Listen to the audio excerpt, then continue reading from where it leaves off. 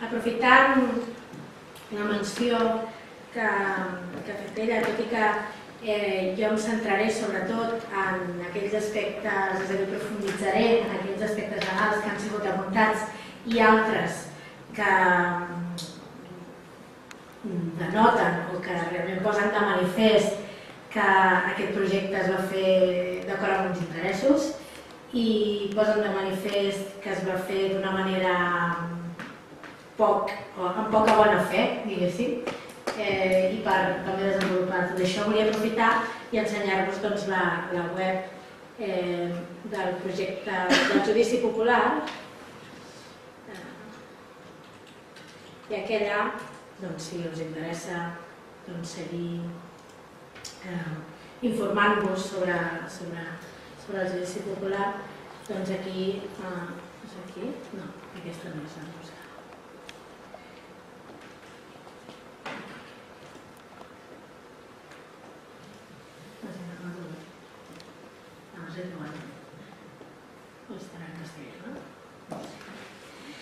Eh, que explicat Berina, però més desenvolupada, i aquests vídeos als que feia referència. Eh, com sabeu, hi ha una indemnització molt gran que, que s'ha de pagar i tot i que ja no incidiré en aquesta part, que és la que va tractar més l'ODG en, la, en la segona part del, del judici, on parla d'aquest endeutament il·legítim i on van participar sobretot la Mònica Guiteras i l'Alfons Pérez parlant, aprofundint en aquest eh, tema més, més econòmic, no volia deixar de, de posar un vídeo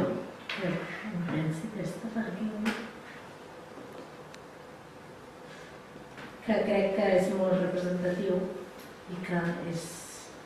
Bé, bé val la pena veure.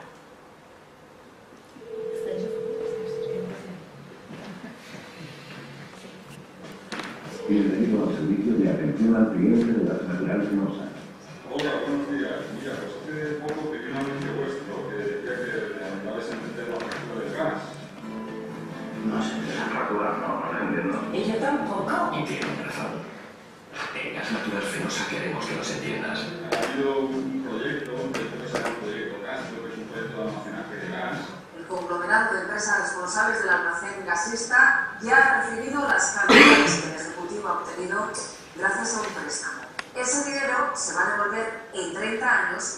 a través del recibo del gas que vamos a pagar todos los consumidores. ¿Qué posibilidades tendría yo de no pagar este, este almacén? Pues yo creo que ninguno. Bueno, darte de baja el de gas.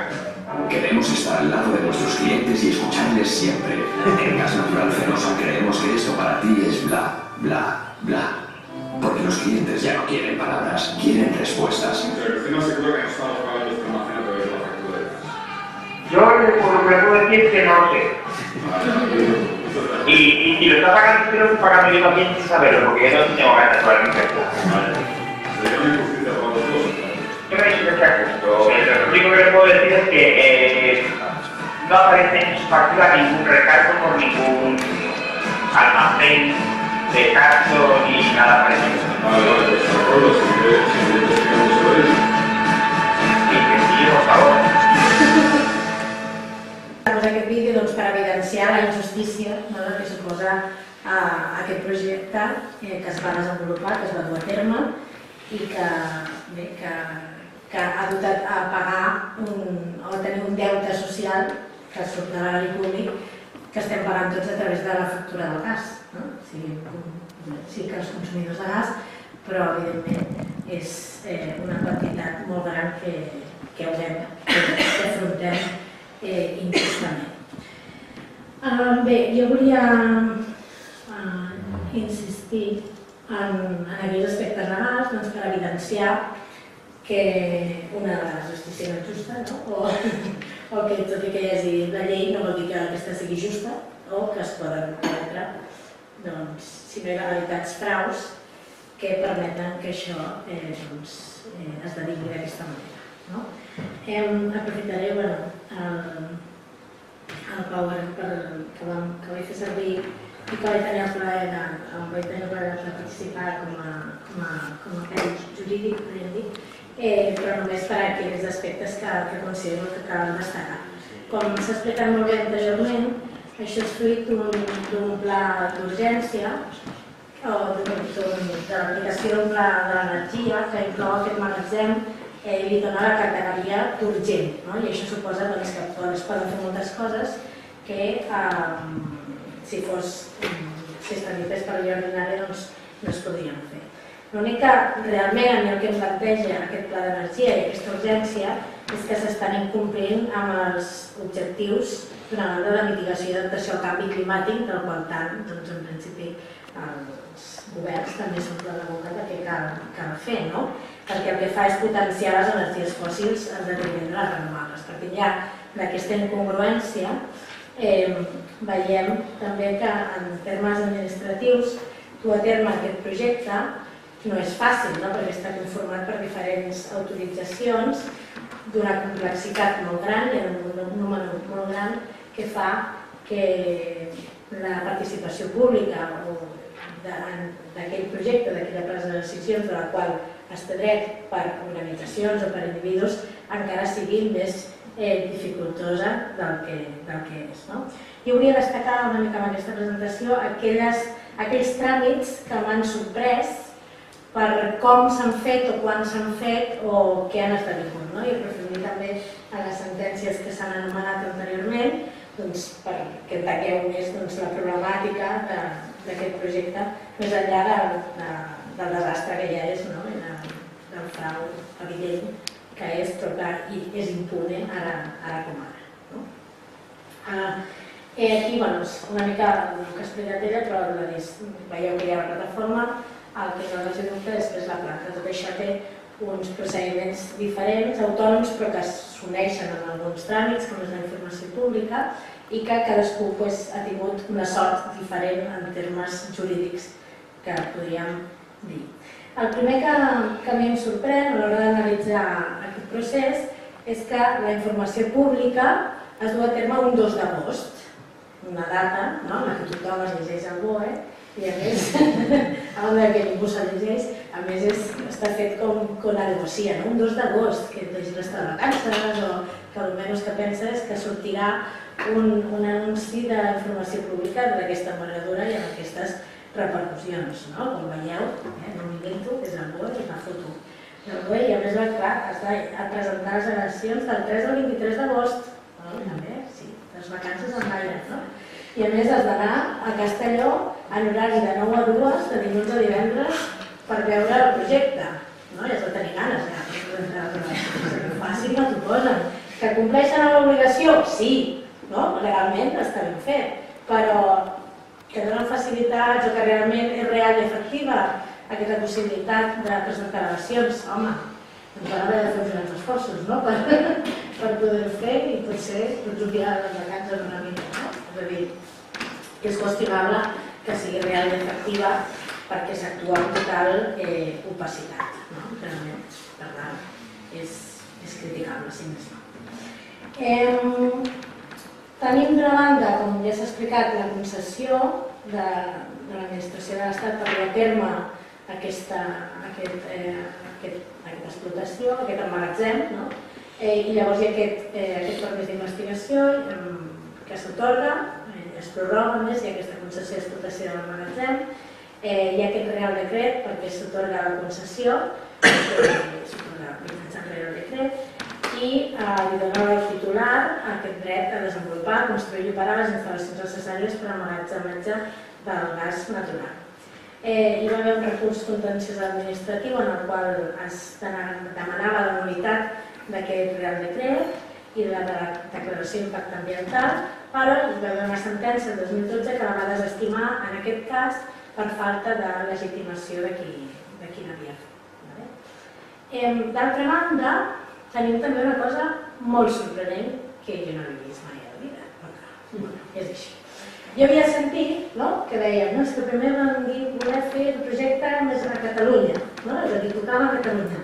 Però clar, Catalunya sabeu que normalment en termes ambientals és molt exigent. I, per tant, semblava que no ho posaria fàcil el fet d'instal·lar aquest projecte. No? I què van dir? Doncs pues no res, pues línia del mar, no? i diem, en de què passa per aquí, passem per allà. Vale? Llavors jo vaig dir, vale, anem a veure quina és la norma a través de la qual, l'acte administratiu a través del qual han canviat per on passa quina és la línia del mar que diu que una cosa és Catalunya i l'altra és, és eh, València. Vale. Doncs em trobo que és una modificació d'errors, una correcció d'errors. És a dir, que en comptes de fer un acte específic per canviar-ho, realment diu en una correcció d'errors. No? Ai, és que ens havíem equivocat. Realment no passa per aquí, sinó que la línia passa per allà. Bueno, vale, no sé. Com a mínim fa pudoreta, no? Dir, no sé, canviar normativa a través d'una correcció d'errors em sembla bastant heavy, la veritat, però bueno, existeix, és així. Bueno, després tenim altres eh, autoritzacions administratives totes, clar, comencen per una sol·licitud no? i acaben amb una resolució. Eh, en aquest cas, que teniu aquí totes les que hi ha, que és l'autorització administrativa del propi emmagatzematge, el reconeixement de l'autoritat pública, també eh, això comporta que, que pel tipus de projecte que és hagi d'estar sotmès a l'avaluació d'impacte ambiental, per tant s'ha de fer un estudi d'impacte ambiental. També eh, dona lloc a que hi hagi d'haver una concessió de domini públic marítim o terrestre, ja que es desenvolupa al mar, i també requereix, pel fet de ser un, una, una instal·lació, una indústria de gran impacte ambiental, que a banda de l'autorització substantiva com a indústria, obtingui l'autorització ambiental integrada, que s'anomena de la planta d'operacions en terra de magatzemament terrani gran natural, que en aquest cas és de competència de la Generalitat Valenciana, de la comunitat autònoma. Vale?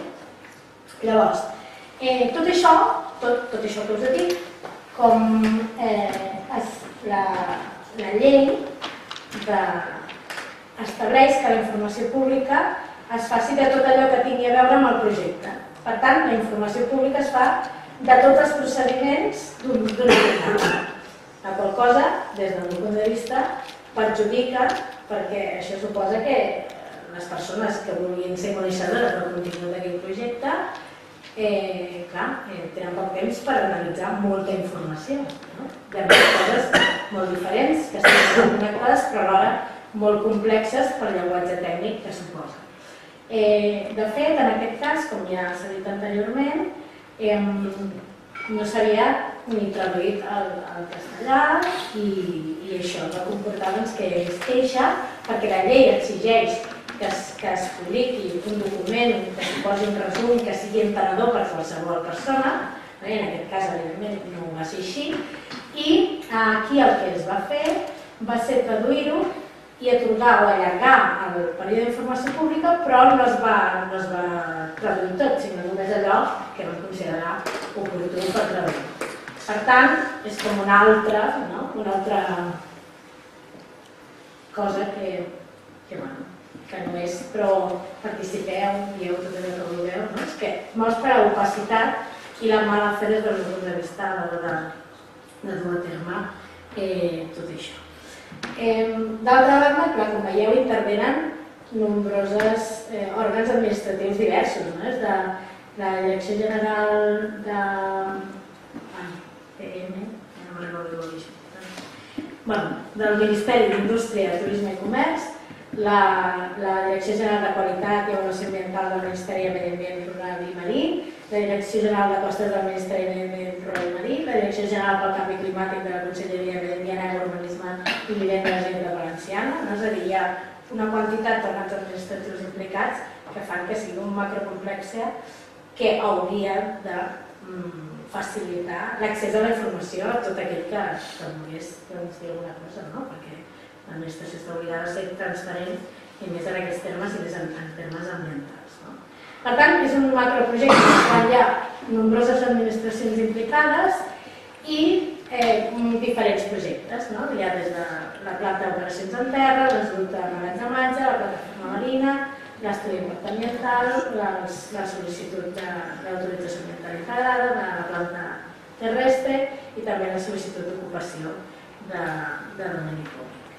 A més, eh, una d'aquestes autoritzacions va ser eh, sotmès a modificació no substancial, en aquest cas a la traçat de gasoducte, que com ja s'ha avançat ha sigut declarada, declarada nul·la, no? la resolució per mancar de d'avaluació d'impacte ambiental, després entrarem més en això. I, I bé, en aquest cas doncs, va haver una, un, una resolució favorable, no? una, una autorització comunitària, la pública de les instal·lacions i dels serveis necessaris per al desenvolupament del projecte del magatzematge subterrani gas. I aquesta avaluació d'impacte ambiental i bueno, ja tenim aquí també la mesura de, de gasoducte, però ja, ja s'ha dit anteriorment, no cal que insisteixi. Després hi ha del, del, del gasoducte, no, perdó, ho he dit malament, eh? aquí és de la planta del, de, de la planta de terrestre, ai, terrestre, de la planta de mar, vale? que hi ha la relació d'impacte ambiental favorable, en la qual no es té en compte el risc sísmic, com s'ha dit abans. Eh, després hi ha l'altra, la del gasoducte, en la qual es decideix no sotmetre a avaluació d'impacte ambiental i s'atorga la resolució i hi ha una nova sol·licitud d'acció que es fan al·legacions i hi ha una resolució del 2011 que s'atorga a Enagas l'aprovació d'aquest projecte d'interconnexió entre el mercat de matge subterrani i el gasoducte, no? seria un, un, un pas intermig. Eh, bé, ja després a, a l'Ajuntament de Vinaròs es tramita la llicència d'obres, com s'ha avançat també, com s'ha dit abans, en sol no urbanitzable. Vale? I ha una incompatibilitat amb el planejament urbanístic, perquè en principi no, no hauria de ser això, arribar als tribunals Eh, però bueno, abans d'arribar als tribunals, el que jo volia destacar també és que aquesta sol·licitud entra a l'Ajuntament el 23 de desembre i s'atorga el 28 de desembre. No? L'administració és famosa per la seva rapidesa a l'hora de resoldre els procediments i més en època de festiva, no? Aquí entremig, 25-26, bueno, 25, a València el 26 no és festa, però mi hi havia festiva entremig. Bueno, doncs sorprèn que, que que la sol·licitud el 23 de desembre i, i surti el 28. I com s'ha dit, aquest jutjat, de, bueno, això va ser...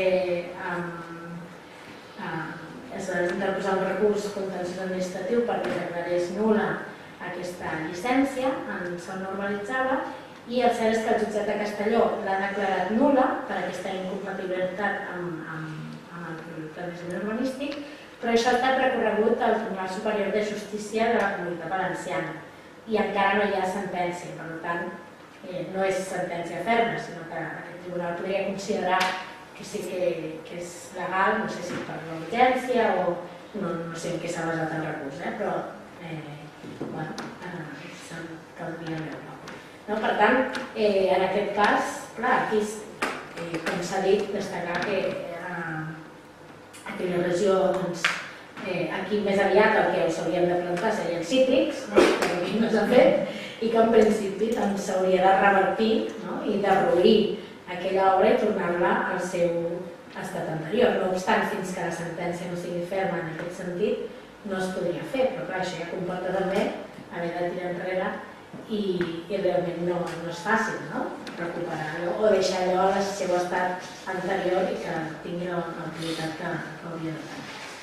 Ah, ara sí, en relació amb les avaluacions eh, d'impacte ambiental, en relació amb l'avaluació d'impacte ambiental del, del que seria l'autorització substancial, la, la, la planta eh, marina, la, la, la declaració d'impacte ambiental eh, va ser favorable no, al, al projecte, és aquesta resolució del 23 d'octubre de 2009. Com ja hem dit, però eh, la informació pública de l'estudi d'impacte ambiental corresponent va ser molt opaca, poc transparent i de, de molt difícil accés. He posat, eh, bueno, he donat, eh, he posat les referències abans de les administracions, els pocs dies que es té per analitzar-ho, el que comporta de desplaçar-se a les dependències de, de la subdelegació i de, de l'àrea per de la indústria i a la necessitat aquesta de, de requerir la,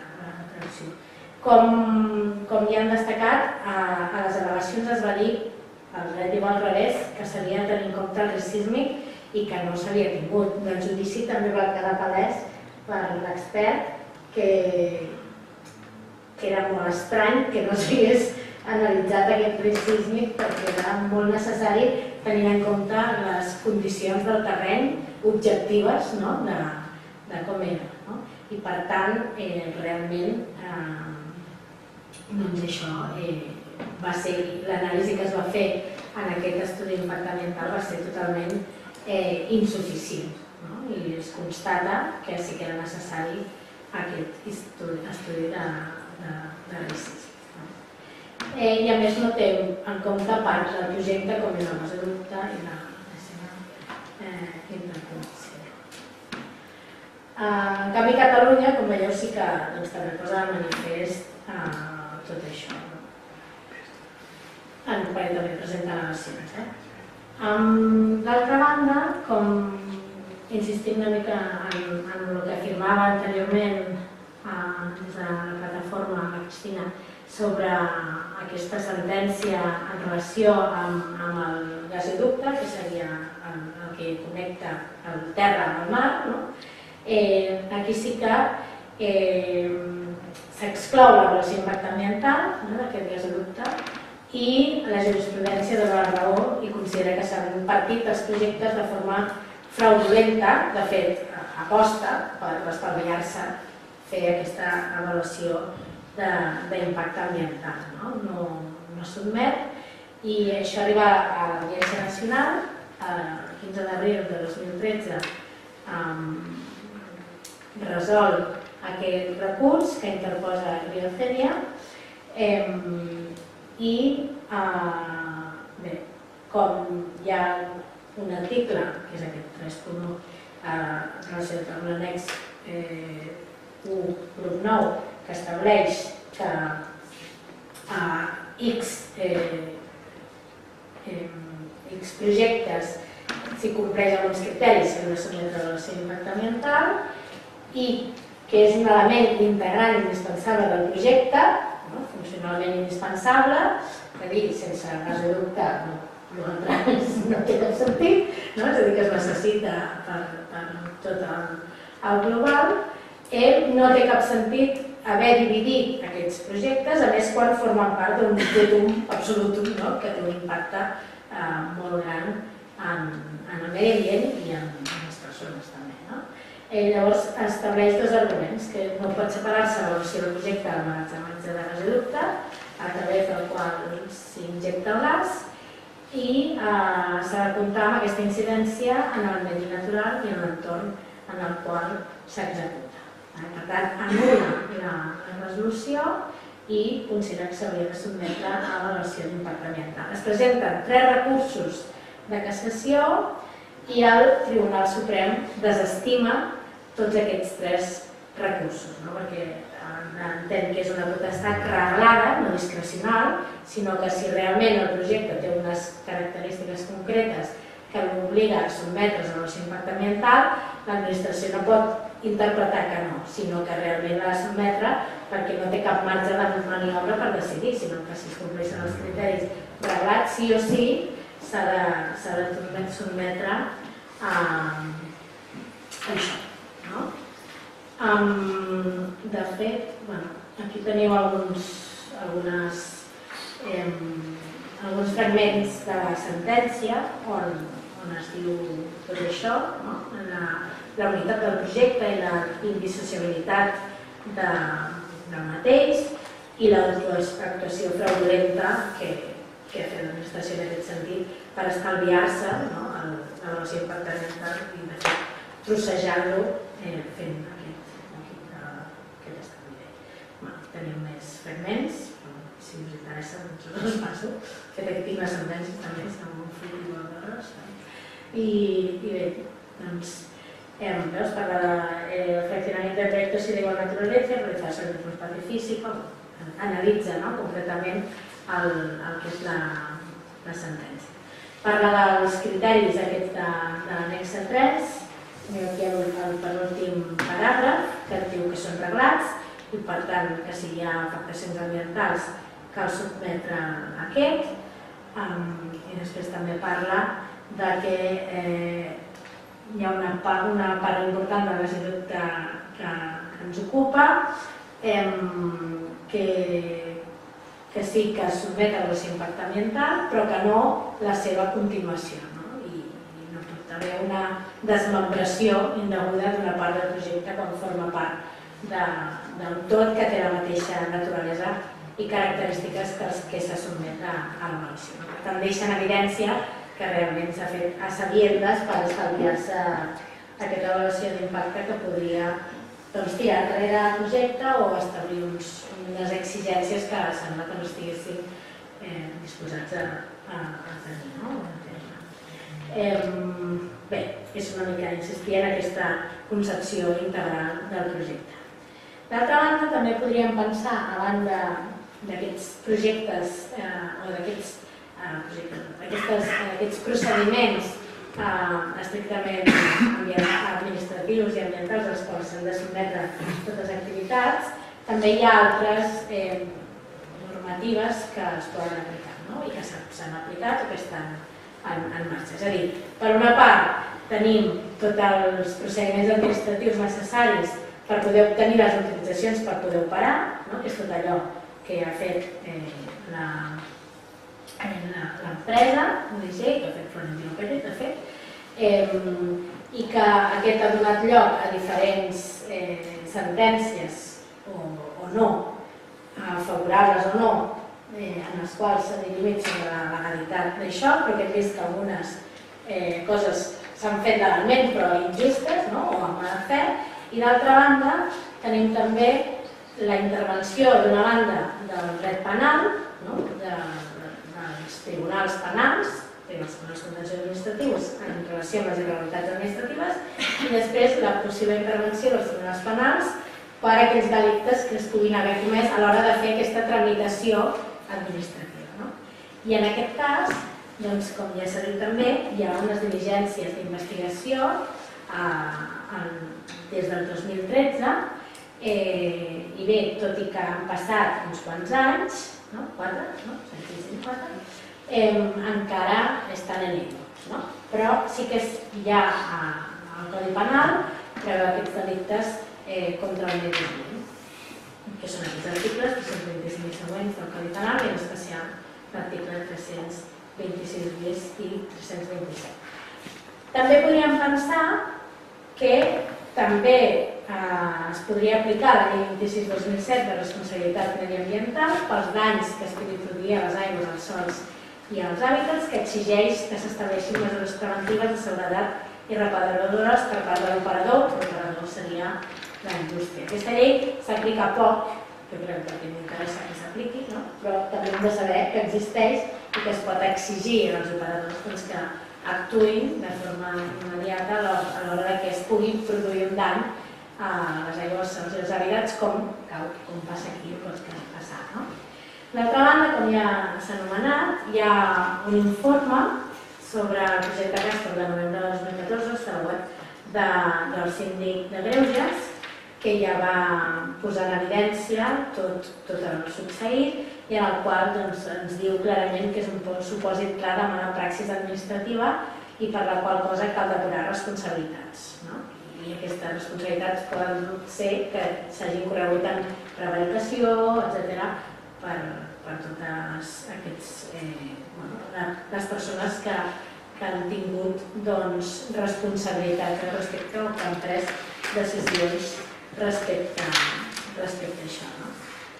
Per tant, bueno, podem afirmar que hi ha un cúmul d'irregularitats i actuacions de mala fe en favor i en benefici de determinades elits de poder.